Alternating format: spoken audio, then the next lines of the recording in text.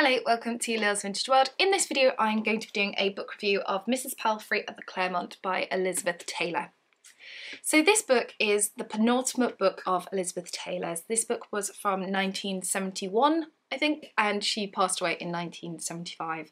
This book is about an older woman called Laura Palfrey who goes to reside at the Claremont Hotel because she can no longer do the cooking, the cleaning, the washing, the ironing, all those things that you require when you live in your own home. So she goes to reside and live in a hotel.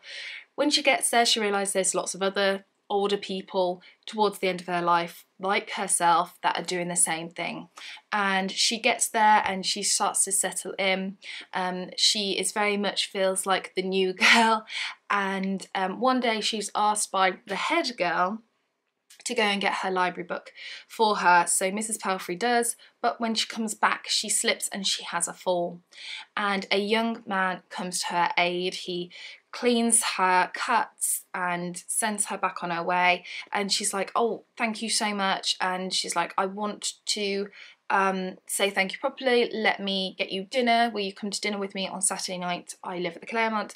And he's like, yes. And it's about their friendship that they form. Mrs. Palfrey and this young aspiring author called Ludo um, and it's about the relationship that they form. Now when she's been at the Claremont, she's spoken about her daughter Elizabeth and her grandson Desmond, and people think that Ludo is Desmond, and she just kind of rides along with it.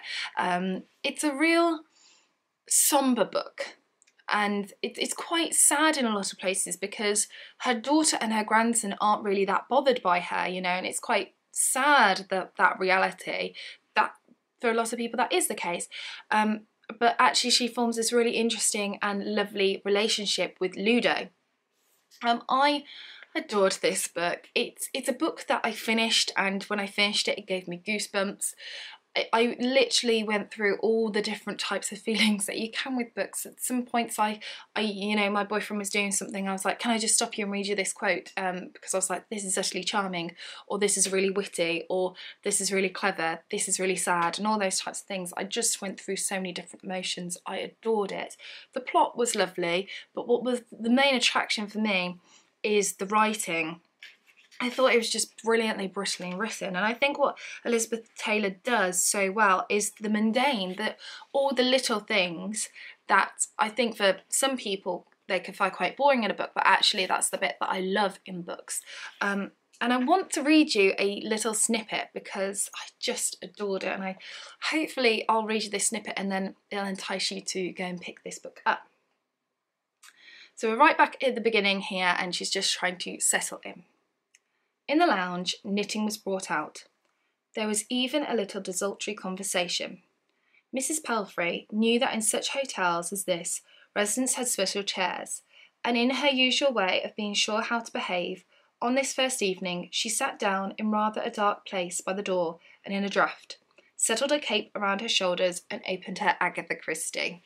I don't just love it because of the Agatha Christie bit, although extra bonus points, but I just, it's just charming and wonderful. It reminds me quite a bit of like Barbara Pym sort of esque writing, and I don't see many people talking about Elizabeth Taylor's books here on YouTube, so I am definitely one to fly the flag and say you should go and read her books because this is absolutely wonderful. And then funny enough, I was reading um, the introduction and stuff because I always wait for the end to do that uh, in case it spoils anything for me. And right at the beginning where it talks about Virago Modern Classics and just a little bit about the author, it's, it says Rosamond Lehmann called her sophisticated, sensitive and brilliantly amusing.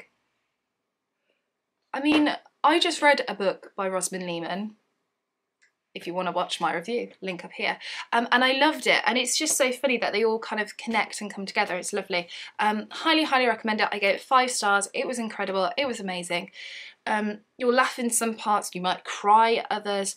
Uh, just a word of warning, but it's just magnificent. And I can't recommend it enough. So yes. If you want to get your hands on a copy, I will leave it in description bar below. Please chat to me in the comments all things Elizabeth Taylor in general, not just about this book, but Elizabeth Taylor, because I, oh, she's soon becoming one of my favourite authors, isn't she? She's just wonderful. So yeah, highly recommend it. So that's it for this video. Take care, and I shall see you soon for the next one. Bye for now.